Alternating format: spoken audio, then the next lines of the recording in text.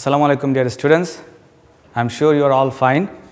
Today we are going to discuss a very important topic of English grammar and this is none other than right form of verbs. Now before I begin, let me draw your kind attention to the most important things. Number one is tense and number two is verb. Because if you have a very good idea over tense and verb, it will be very easy for you to understand the rules of right form of verbs. Now, if you don't have proper ideas, then there will be a disaster. So, I hope you must have very good idea over tense and verb. So, when we are talking about verb, so main focus I would like to give is in verb. Some keywords should be remembered because when I tell you about V1, that means I am telling you about the base form of the verb. It can be a present, present form as well. When I am talking you about V2, that means I am talking you about the past form of the verb. When I am telling about V3, then I am talking about the past participle form of the verb. So, these three things are very important. Nevertheless, there are modal verbs as well. When I am talking about modal verbs, actually I am referring to modal verbs like this may, might, would, should, can, could, used to, etc. etc. So, when I am talking about modal verbs, that means I am talking about this. When I am referring to V1, that is the base form of the verb. When I am referring V2, that is the past form of the verb. And V3 is the past participle form of the verb. And as far as tense is concerned, we know there are basically three kinds of tense present, past, and future. And each tense can be classified into another four ways that means indefinite, continuous, perfect, and perfect continuous. So, altogether, we have got 12 different tenses. Now, if you have, if you have very good idea over tense and verb, I think the right form of verb will be a very simple and easy thing for you. Now, let us move on to the some rules of right form of verb. I will go to the simple rules to difficult one. So, simple rules to difficult one I am referring, I am writing some simple rules, then we shall move on one by one to different and difficult rules as well.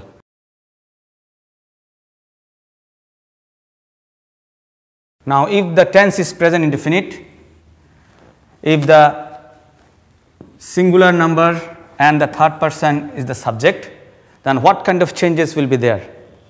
There will be, for example, if it is an affirmative sentence, there will be subject plus verb plus s or es. For example, he plays cricket. This is an affirmative sentence. So, subject is he, verb is play. As this is a present indefinite tense, the subject is third person singular number. After the verb, there will be s or es, and the object is given here. If it is negative sentence, then subject plus does not plus V1. V1 means the base form of the verb. Then the example is he does not play cricket. So here subject is third person singular number as I am referring negative sentence. So, there will be does not because subject is third person singular number. And remember after does not there will be always the base form of the verb. That means the play here. And object is given. If the same things are there then for interrogative sentence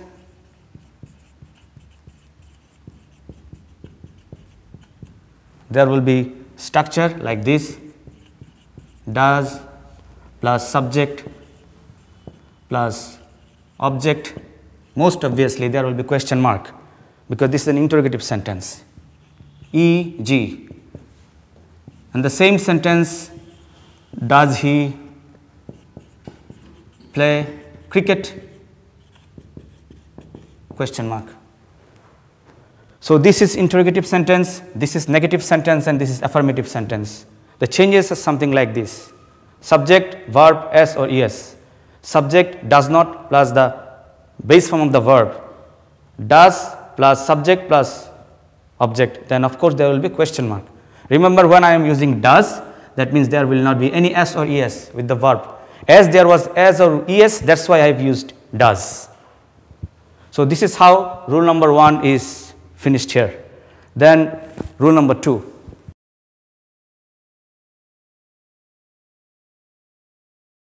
Rule number 2 is if there is always, every day, regularly, often, very often, seldom, daily, occasionally, normally or frequently, if anyone anything like this is there in the sentence then it will be followed by present indefinite tense. Example is given here. He always plays football. So there is always, always is here. Third person singular number, then the verb will take S or ES because this is present indefinite tense. And there is a question actually, what does EG mean? Originally it has come from a Latin word, exempli gratia. In, in English it is said, for example. Now rule number 3. It is a very important rule because the students often make mistakes. You must remember that if it is a modal verb, then after modal verb there will be always the base form of the verb. That means verb will not take any ing, verb will not take any s or es, verb will never be in past form, let alone a past participle, nothing will be. There will be the base form of the verb. So if there is modal verb, after modal verb there will be the base form of the verb. Then rule number 4, the earth moves round the sun. This is a universal truth. That's why present indefinite tense is there. Subject is third person, singular refers, it's always present indefinite tense, that's why moves. So if there is universal truth or historical fact or habitual fact, there will be present indefinite tense. Present indefinite tense can also be called as simple present tense, so both are right. So rule number 5 is now at this moment or at present or day by day. If this is the case then the tense will be present continuous tense. Present continuous tense means subject plus am or is or are depends on the subject then there will be the verb plus ing form. This is the case here she that is why is the verb is read then ing because at this moment is there. So, when there is at this moment the rule will follow present continuous tense. So, present continuous tense is there. So, if there is just or already or recently, lately or ever or yet, the tense will be present perfect tense. Example, I have already written my part. See, already is there. So, we know that there will be present perfect tense. The present perfect tense means structure is subject plus have or has then the V3 that means the past participle form so, the subject is here I, definitely I will have the verb have, auxiliary verb, then have will follow V3 and already is there. That is why subject have V3 then object. So, this is present perfect tense. Now, rule 7. This is a very easy rule, but very important. Remember in English language, if there is have or has or had after these any of these have or has or had the verb will be V3. So, the example is she has gone to school. She is the subject here has then the V3 because we know that according to rule have or has or had after this there will be the past participle form of the verb. So, if we got any kind of word like this, then the tense will be past indefinite tense. An example is, I got your letter yesterday. So, yesterday is there. It refers to past indefinite tense or simple past tense. So, the verb is V2. Past indefinite tense always follow the V2 form of the verb. whatever be the subject, then there will be the past form of the verb. That's why V2 form, that means the past form is given here. I got you letter yesterday. This is an indicator that the tense is in past. That means the action is in, in past. Now, rule number 9. So, if there is tomorrow or day after tomorrow or next day, next month, next year, it will follow future indefinite tense. That means there will be shall or will according to the subject. Here I have used you. So, you for you there will be will, after will there will be always V1 that means the base form of the verb and everything is given here. This is an indicator. The time is referring to future action. That is why subject, will, base form of the verb, object, then time is there. So, this is an example of future indefinite tense. Now, there will be some homeworks. So, please write down the homework in your copies.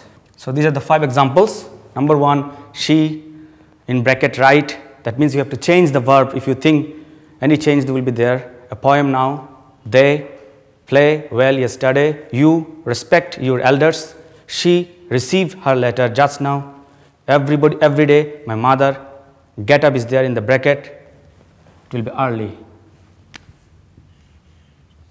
So these are the five examples. Please do the homework at home. You can also get all this information and the video in, in Kishore Batayan. So you can have a look on this topic and if you have any feedback, you can pass your comments. We shall try to solve your problems. Hope see you soon. Thank you.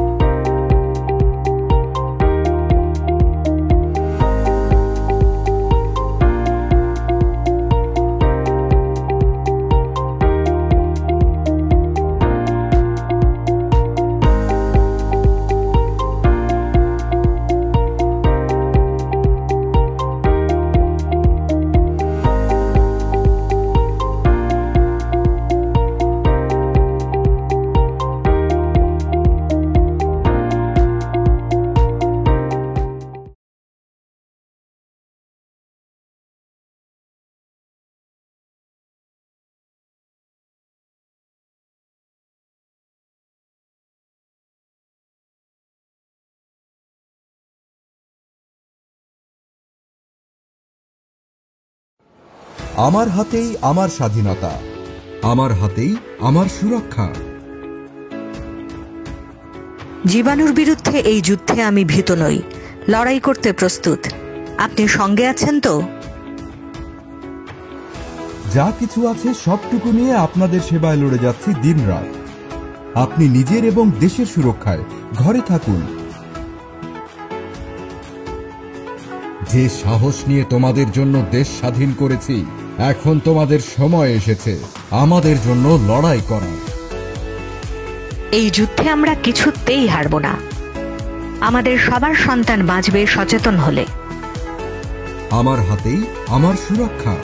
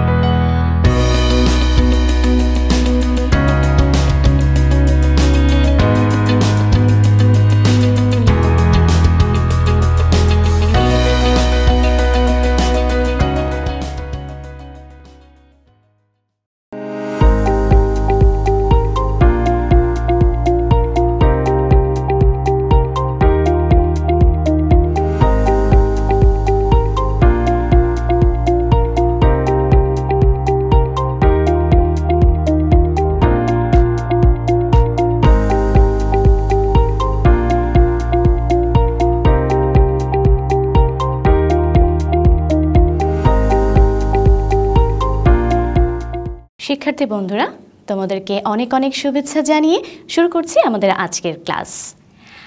আমরা আজকে চলে যাব class সিক্সের বিজ্ঞান বিষয়ক ক্লাসে। তো আশা করি তোমরা সবাই ভালো আছো এবং প্রস্তুত হয়ে যাও খাতা, বিজ্ঞান বইটি এবং পেন্সিল ও কলম নিয়ে। তোমরা রেডি আছো তো? আমি কি শুরু করব? ওকে চল, চলে যাই বিজ্ঞান বিষয় ক্লাসে। কোন ক্লাস? Class six. আর তোমরা অধ্যায়টা খুলবে পঞ্চম অধ্যায়। ঠিক আছে? আমরা আজকে যেটা আলোচনা করব সেটা হচ্ছে সালোক সংশ্লেষণ। এটাকে ইংরেজিতে বলে ফটোসিনথেসিস। তোমরা সবসময় চেষ্টা করবে যখন যে টার্মটা পড়বে তার ইংরেজি ওয়ার্ডটাও জেনে রাখার। এতে তোমাদের সুবিধা হবে এই যে যখন তোমরা গুগলে সার্চ দেবে, তখন দেখেই বুঝতে পারবে যে ফটোসিনথেসিস ও আচ্ছা এটা তো বলেছিল সালোক সংশ্লেষণ, ঠিক আছে? বা বড় ক্লাসে যখন লাইব্রেরি ওয়ার্ক করতে যাবে, তখনও কিন্তু ইংরেজি টার্মগুলো লাগবে। ছোটবেলা থেকে যদি আমরা এভাবে ভকাবুলারিটিটা ইনক্রিজ করে রাখি, তাহলে আমাদের জন্য অনেক হেল্পফুল হবে ওকে তাহলে চলো আমরা চলে যাই বিজ্ঞান ক্লাসে ক্লাস সিক্সের পঞ্চম অধ্যায়। শিক্ষার্থী বন্ধুরা তোমাদের মাথার উপর কি ফ্যান ঘুরছে? আশেপাশে মা, ভাই, বোন তারা মুভ করছে। আর যদি বাইরে বের হই, দেখি গাড়ি চলছে। তাহলে এগুলো কীভাবে চলছে? এগুলো চলছে, প্রত্যেকটার মধ্যেই কিছু শক্তি চালিত হচ্ছে। ফ্যান চলছে কারণ বিদ্যুৎ শক্তি। গাড়ি চলছে পেট্রোল দিয়ে। আর আমরা আমরা কীভাবে চলি? আমাদের কি পেট্রোল লাগে? হ্যাঁ লাগে। আমাদের পেট্রোলটা হচ্ছে খাবার। আমরা খাবার পাই, সেখান থেকে শক্তি পাই, তাই আমরা চলাচল করতে পারি। এখন বলো, উদ্ভিদেরও তো প্রাণ আছে। তাদের জন্ম আছে, তাদের মৃত্যু আছে, এবং তারা ছোট থেকে বড় হয়। গাছপালা মেলে দেয়। শুধু তাই না, তাদের কিন্তু অনুভূতিও আছে। তারা গানও শুনতে পারে। তুমি প্রয়োজনে তাদেরকে গান শোনাবে। তারা খুব খুশি হবে। তাহলে তাদের যদি প্রাণ থেকে থাকে, আমরা যদি খাই, তাহলে গাছ কি খায়? গাছ কীভাবে খায়? আমাদের মতো গাছেরাও রান্না করে। তাদেরও এরকম কুকিং প্রসেসিং আছে। প্রিয় শিক্ষার্থী বন্ধুরা, চলো তাহলে আজকে আমরা জেনে নিই কীভাবে উদ্ভিদও আমাদের মতো রান্না বান্না করে তারপর সচল থাকে। বড় হয়, বৃদ্ধি হচ্ছে তাদের জন্ম, মৃত্যু সবই হচ্ছে। আর এই জন্য তাদের দরকার আমাদের যেমন টেম্পারেচার লাগে, হাঁড়ি লাগে, তারপর আমরা রান্নাবান্না করি, বিভিন্ন ইকুইপমেন্টস দিয়ে। ঠিক তেমনি উদ্ভিদেরও কিছু জিনিসপত্র লাগে। ওদের টেম্পারেচারটা হচ্ছে ন্যাচারাল সানলাইট সূর্যের আলো। আর লাগবে হচ্ছে গিয়ে পাতার মধ্যে থাকে একটা ক্লোরোপ্লাস্ট সবুজ, যার কারণে পাতাটা সবুজ। আর লাগবে তাদের শিকড় দিয়ে নিচ থেকে, মাটি থেকে পানি শুষে নেয়। এইগুলো মিলে তারপর রান্না হয়। রান্নাটা কোথায় হয় জানো? গাছের পাতায়।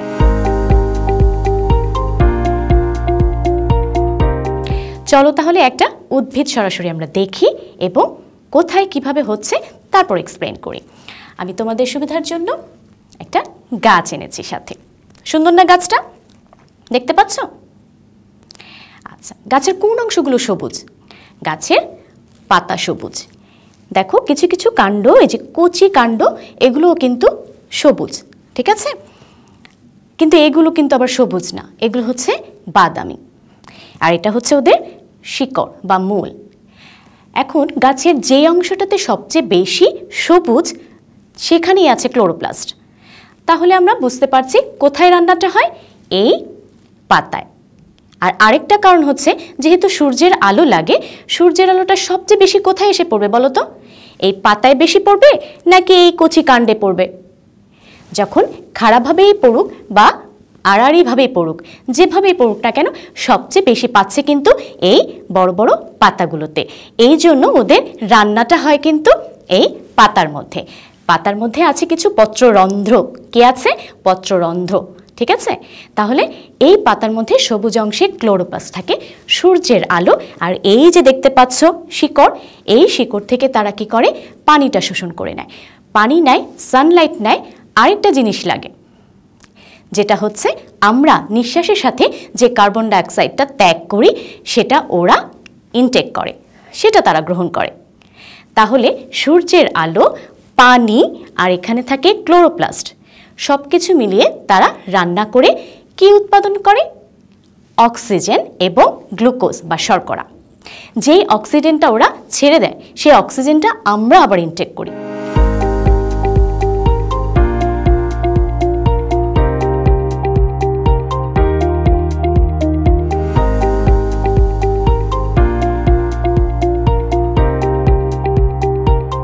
তাহলে আমি আগের ক্লাসে বলেছিলাম কি, আমাদের প্রকৃত বন্ধু হচ্ছে গাছ। এখন কি, বুঝতে পারছ কেন বলেছি? কারণ এই গাছই আমাদেরকে দিচ্ছে অক্সিজেন। তাহলে এই গাছ থেকে আমরা বুঝতে পারছি যে গাছের কোন অংশে সালোক সংশ্লেষণ হয় এবং কি কি লাগে। আমি আবারও বলছি কি কি লাগে? সানলাইট, ক্লোরোপ্লাস্ট, এখান থেকে পানি, আর আমরা মানুষের যে কার্বন ডাইঅক্সাইডটা ছেড়ে দিচ্ছি। নিঃশ্বাস নিয়ে তারপর নিঃশ্বাস যেটা ছেড়ে দিচ্ছি, কার্বন ডাইঅক্সাইড। সিও টু সেই কার্বন ডাইঅক্সাইড এগুলো নিয়ে সে রান্না করে কি আমাদেরকে দেয়? সে শক্তি পায় এবং গ্লুকোজ এবং অক্সিজেনটা উৎপন্ন হয়। সেই অক্সিজেনটা আমরা ইনটেক করি এবং আমরা দিব্যি বেঁচে আছি। শিক্ষার্থী বন্ধুরা, তোমাদের কাছে কি একটু জটিল মনে হচ্ছে? কোনো সমস্যা নেই। চলো তাহলে আমি তোমাদের সহজ করার জন্য বোর্ডে একটি চিত্র অঙ্কন করেছি। এটা তোমরা বুঝতেই পারছ, এটা হচ্ছে সূর্যের আলো। এখান থেকে সূর্যের আলোটা যাচ্ছে। আর আমরা নিঃশ্বাসের সাথে যে কার্বন ডাইঅক্সাইডটা ত্যাগ করছি, সেটাকে বলা হয় সিও টু বা কার্বন ডাইঅক্সাইড সাথে যাচ্ছে পানি। পানিটা তো শেকড় থেকে নিচ্ছে। এই যে পাতা দেখতে পাচ্ছ বোর্ডের মধ্যে, পাতার ভেতরে আছে সবুজ রঙের ক্লোরোপ্লাস্ট। এটা হচ্ছে ক্লোরোপ্লাস্ট। এই ক্লোরোপ্লাস্ট কি করে? এগুলোকে নিয়ে সূর্যের কার্বন ডাইঅক্সাইড সূর্যের আলো এবং পানি, এগুলো নিয়ে এখানে রান্না হয় সূর্যের আলোর মাধ্যমে। তারপর এখান থেকে কি করে? এখান থেকে ওরা শর্করা অথবা গ্লুকোজ এবং অক্সিজেন প্রডিউস করে। ওরা শক্তিটা পায় আর অক্সিজেনটা আমাদেরকে দেয়। সেই অক্সিজেনটা নিয়ে আমরা দিব্যি বেঁচে আছি এবং সুন্দর পৃথিবীটা উপভোগ করছি। কাদের জন্য করছি?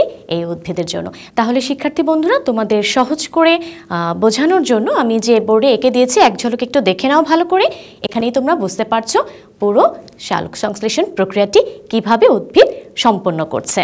শিক্ষার্থী বন্ধুরা, তাহলে আমরা ফটোসিনথেসিস সম্পর্কে জেনে গিয়েছি, কীভাবে এটা সম্পন্ন হয়। এই ফটোসিনথেসিসটা কেন প্রয়োজন? জীবজগতে যে শক্তিটা আমরা পাই সেই শক্তিটা কোত্থেকে পাই একমাত্র সোর্সে হচ্ছে কি? শর্করা। যা কিনা আমাদের একমাত্র শালক সংশ্লেষণ বা ফটোসিনথেসিসের মাধ্যমেই এটা উৎপন্ন হয়। তাহলে আমরা এই উদ্ভিদ থেকেই শক্তিটা মানবজাতি পেয়ে থাকি। তাহলে উদ্ভিদ শুধু মানুষ না, অন্যান্য প্রাণীরাও কিন্তু গাছ, লতা, পাতা খেয়ে বেঁচে থাকে। তাহলে এই যে উদ্ভিদ এবং প্রাণী, উভয়ের মধ্যে একটা কি? রিলেশন আমরা একে অপরের উপর এইভাবে নির্ভরশীল হয়ে আছে। শুধুমাত্র এই শালক সংশ্লেষণের উপর বেস করে। তাহলে বুঝতে পারছ এটার গুরুত্বটা কতটুকু? অবশ্যই বুঝতে পারছ। তোমরা ঝটপট এটা লিখে নাও, যেন আমরা এটা সহজেই মনে রাখতে পারি। এবার আরেকটা কথা বলে রাখি, এটা কিন্তু বলেছি আলোক পর্যায়। তোমরা দেখতে পাচ্ছ এখানে একটা সূর্য আছে। এটা হচ্ছে আলোক পর্যায়। আবার অন্ধকার পর্যায়েও কিন্তু শালক সংশ্লেষণ হয়, যেটা কিনা রাতে হয়। সেটা কিন্তু একটু অন্যরকম যদিও তোমাদের এই ক্লাস সিক্সে এটা নেই, তোমরা আরও যখন বড় ক্লাসে উঠবে, তখন জানবে। তখন যেটা হয়, রাতের অন্ধকারে সম্পূর্ণ বিপরীত ঘটনা ঘটে। তখন কিন্তু আর অক্সিজেন নির্গত হয় না, ওরা কার্বন ডাইঅক্সাইড নেয় না। তখন সম্পূর্ণ বিপরীতটা। একটা তোমাদেরকে প্রশ্ন করে রাখি, দেখি তোমাদের চিন্তাভাবনা বা বুদ্ধিমত্তার একটা পরিচয় নেওয়া যেতে পারে। রাতে বলা হয় গাছের নিচে ঘুমাতে হয় না। কেন বলো তো? চিন্তা করছ? যেহেতু গাছে রাতের বেলায় সম্পূর্ণ বিপরীতটা হয়, তখন কিন্তু উদ্ভিদ আর অক্সিজেন দেয় না। তখন তারা অক্সিজেন নেয় আর কার্বন ডাইঅক্সাইড ছাড়ে। সম্পূর্ণ কিন্তু বিপরীতটা। এই জন্যই বলা হয়েছে। প্রিয় শিক্ষার্থীরা, তাহলে আজকের এই বিজ্ঞান ক্লাসে আমরা পড়েছি ক্লাস সিক্সের পঞ্চম অধ্যায়ের সালোক সংশ্লেষণ এবং কীভাবে এই প্রক্রিয়াটি সম্পন্ন হয়, কোথায় হয়, কি কি লাগে বা কী কী উপজাত বের হয়, কি নির্গত হয় এসব সব কিছুই আজকে আলোচনা করা হলো।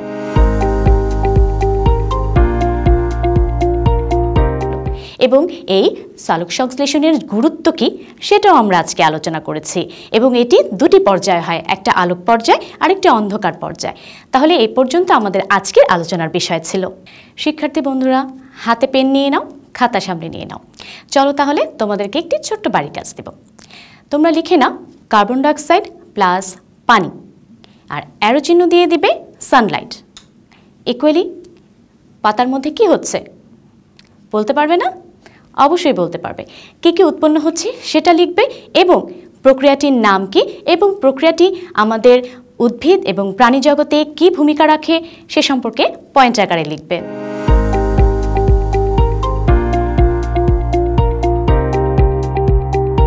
শিক্ষার্থী বন্ধুরা, আজকে এ পর্যন্ত যা কিছু আলোচনা করা হয়েছে, সম্পূর্ণ ভিডিওটি পাবে কিশোর বাতায়নে।